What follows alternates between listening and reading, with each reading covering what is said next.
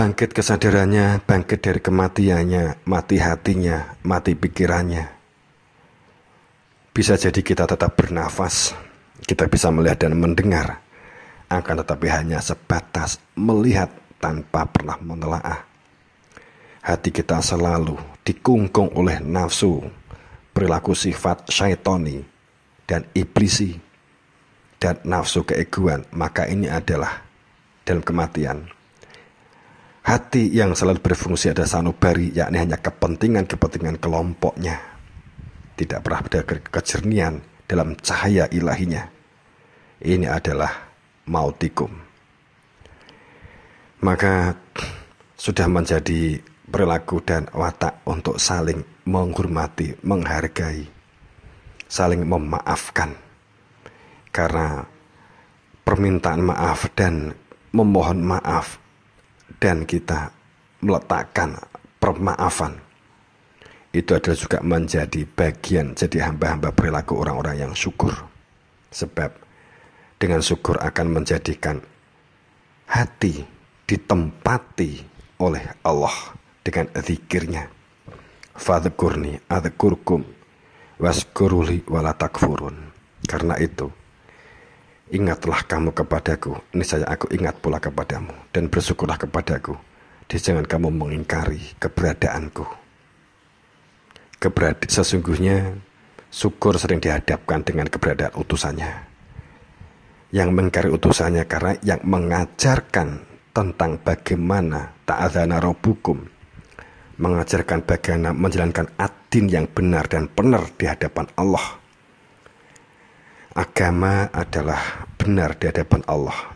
Agama bukan milik golongan, bukan milik siapa pun, tapi golongan adalah min robik. Agama adalah min robik. Adin itu min robik. Al-haq itu adalah min robik.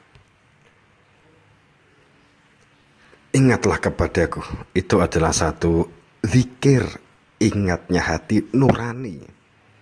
Yang berfungsinya hati nurani adalah dengan mengenali keberadaan dirinya Tuhan Mengenal Tuhan bukan dengan mata basirah dengan mata kepala, walakin tak malkulu berarti sudur. Karena untuk melihat Tuhan itu adalah mata hati yang berada di dalam dada.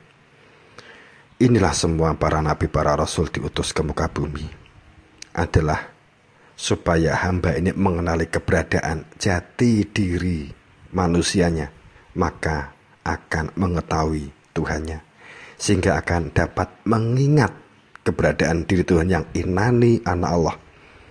Ingsun ini adalah ingsun Allah. Inani aku iki ingsun saya ini adalah inani anak Allah. Anak Allah mencari inani ingsun ini ingsun yang mana supaya dapat kita zikiri keberadaannya. Jika kamu tidak mengetahui bagaimana zikir, fas'alu ala zikir in kuntum la ta'lamun. Tanyakan kepada ahli zikir itu adalah selalu ada di tengah-tengah kamu. Itu selalu ada di tengah-tengah kaum. Itu selalu ada. Sebab ajaran Nabi Rasul itu adalah bagaimana menyempurnakan akhlak yang baik ini supaya sempurna akhlakul karim ini supaya sempurnanya akhlak adalah dengan zikir mengingati keberadaan dirinya Tuhan bukan sekedar pada saat Nabi Muhammad atau para nabi diutus itu untuk membangun akhlak dari yang jahat menjadi yang baik. Akan tetapi supaya akhlak yang baik ini dapat diterima dalam fadul dan rahmatnya Allah dan dalam ampunannya Allah. Ini adalah sesuatu diproses melalui jembatan menjadi hamba yang bersyukur untuk menjembatani mengenal mengenai diri. Maka di dalam satu ayat wa Muhammadun ila rasul. Qad min qabli rusul afa in mata au qutilan qalabtum ala aqabikum. Wa yang qalib ala akibaihi fala yadurullahu syai. Wa sayajillahu syakirin. Syukur dihadapkan dengan adanya sang penyuruh menyampaikan mengenai risalah Rasul. Wa Muhammadun. Bukan karena fisiknya Muhammad akan tetap ila Rasul Sungguh keberadaannya itu sebagai Rasul. Kot kholat berusul dan telah berlalu Rasul-Rasul persis seperti dia yang membawa ajaran risalah kerasulan, risalah Alkitab, al-Hakimah buah yang akan membuka laroba fihi, yang akan membuka mengenai Alkitab yang tidak ada keraguan sama sekali di dalamnya.